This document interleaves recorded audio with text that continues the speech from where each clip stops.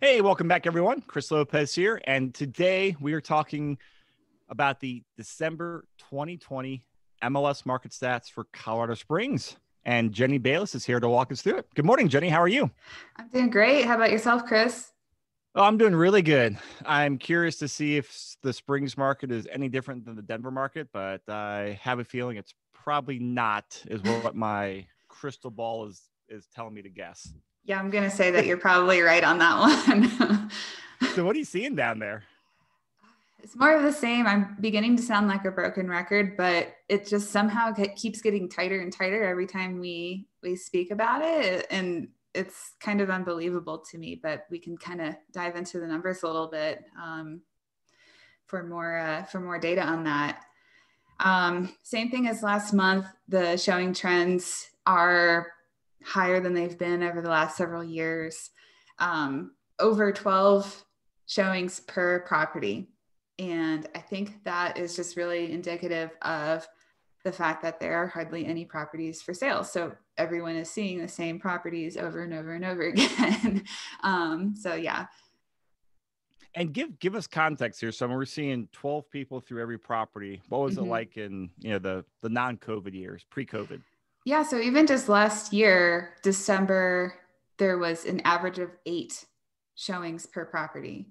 Um, and that was kind of similar for, for 2017 and 2018 as well. So the fact that it's bumped up, um, you know, four showings additional per property, uh, extrapolated over the population of properties for sale, that's just, um, yeah, that's a lot of showings. And um, just to kind of give you an anecdote of, of a conversation that I had with one of my clients that were listing uh, their properties. We were getting a little nervous about um, just kind of the timing of everything, how we were going to end up listing her home.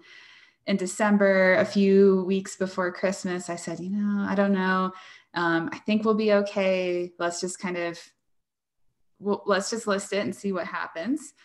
and the the showings were unbelievable. The amount of um, offers that we received were unbelievable. I well, how many like how many showings, how many offers did you get, like roughly? So um, we only took offers for one day and only did showings for one day, and uh, I think there was 15 showings or something on that on that one day, and we received four offers, all of which were significantly above list price.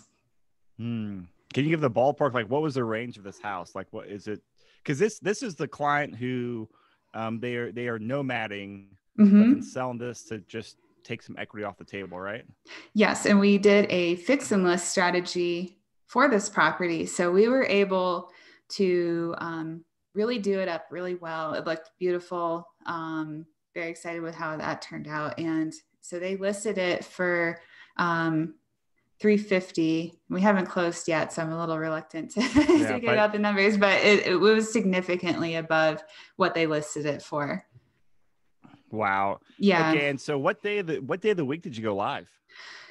Um i believe we went live on a friday and they were still doing some last minute fixes in the home. Um, so they asked that showings don't begin until saturday so um, as soon as Saturday opened, um, my ShowingTime app was going haywire with, with people squeezing in because um, with COVID and everything, you can't have um, overlapping showings. Yep. So um, it was just consistent um, 15 to 30 minute intervals of, of people booking up appointments.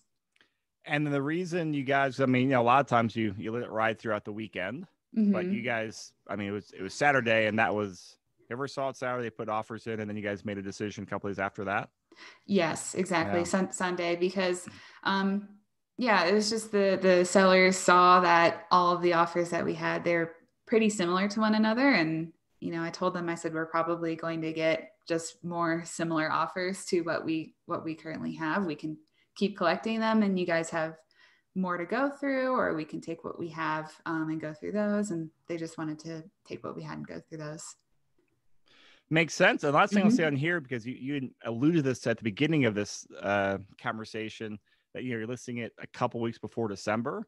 which is usually not the ideal time to list a property. Mhm. But since we, you know, we, Denver and the Springs has just like virtually no inventory, it's actually appearing to be like a really good time because like what you experience. So yeah, you'll get as many people as you can through there on whatever we're allowed to with whatever current COVID regulations, and you're gonna get offers coming in. Yeah, it, we were all very pleasantly surprised Yeah. with uh, with what happened, but it makes sense in hindsight, having looked at this data, that um, that makes perfect sense. It was completely in line with uh, with, with what we're seeing here collectively.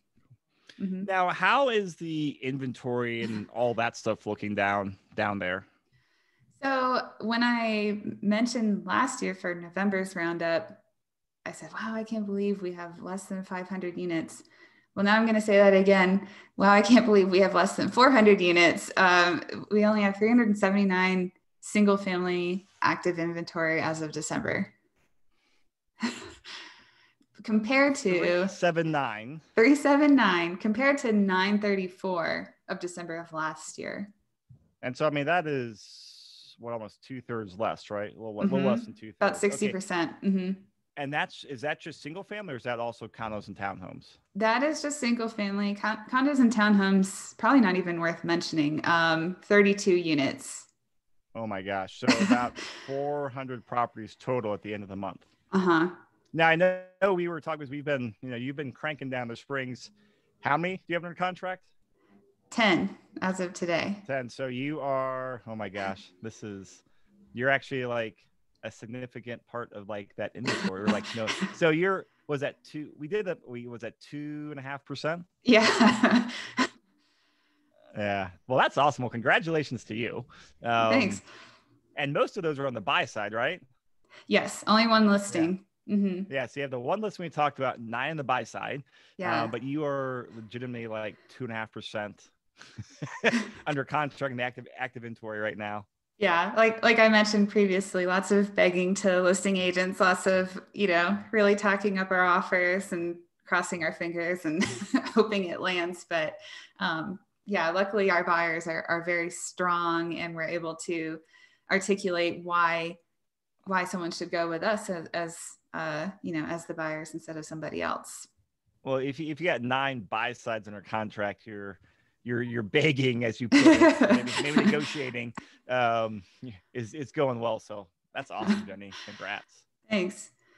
So, Um, yeah, Okay. that- So low inventory and all the other metrics. I'm looking at the stats now. They all look. I mean, it's all the same stuff that just Yeah. points towards a super low inventory. hmm It's all the same stuff that we've been saying, just somehow even more constricted, believe it or not.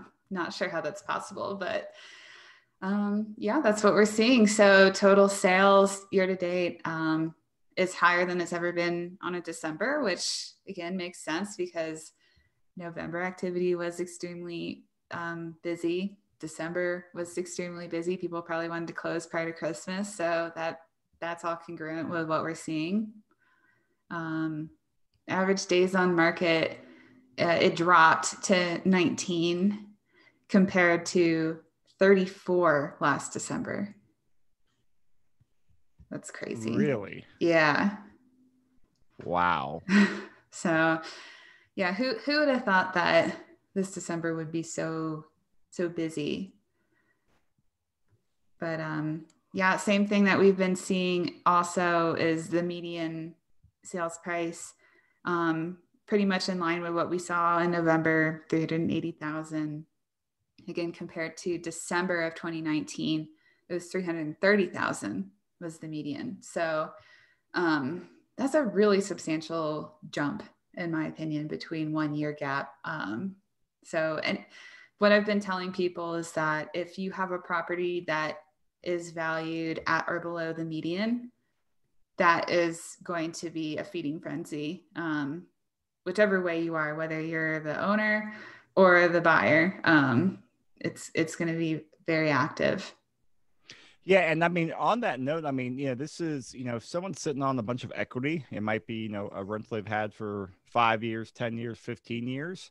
Um, really good time to consider maybe selling that 1031 up the money and redeploying it. Or if numbers Mhm. make sense, do a cash out refi. Kind of depends on the numbers and the houses. But usually what we see in a lot of properties, it makes the most sense to sell 1031 and trade up, even with the transaction cost, you get a, you know, a lot of times that has the greatest return factor for you. Someone out there has a property in the Springs that they've had for a while and they're on some equity, talk to us. We can help you run numbers and optimize it and figure out, hey, do you keep it or do you make a, you know, make a few monopoly moves with it? Mm-hmm. So yeah, more of the same. Uh, nothing really to to talk about further in terms of the monthly statistics, but um, we did include a fun article in, this month's roundup as well. Um, that Colorado Springs zip code 80911 was ranked the number one hottest zip code by Realtor.com. Um, and for those of you that might not be as familiar as to what zip code this aligns with, it's uh, better known as the Security-Widefield um, area of, of Colorado Springs. What about it? I mean, what's the what's the executive summary why it's the hottest place?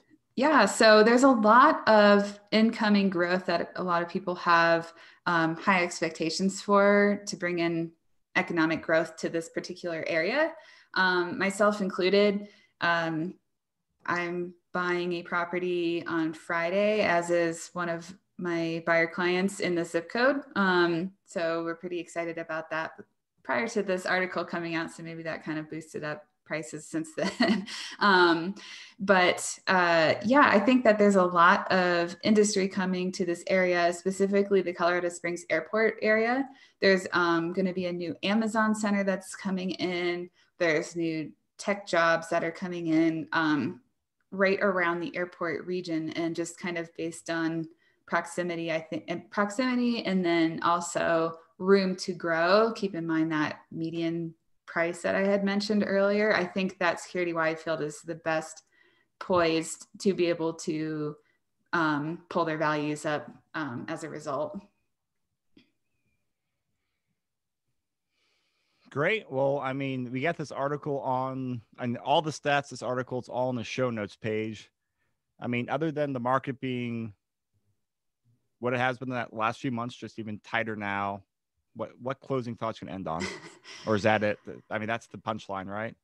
Yeah, just be persistent, be patient. Um, I know that it's frustrating if you want to buy property here, either as a as a rental or as a um, homeowner, and we're you know in that four hundred thousand and less range. It, it can be extremely frustrating um, to be able to buy something, but let's just be patient, and we'll eventually get something. All right. Well, Jenny, thanks so much. This was great. Thank you.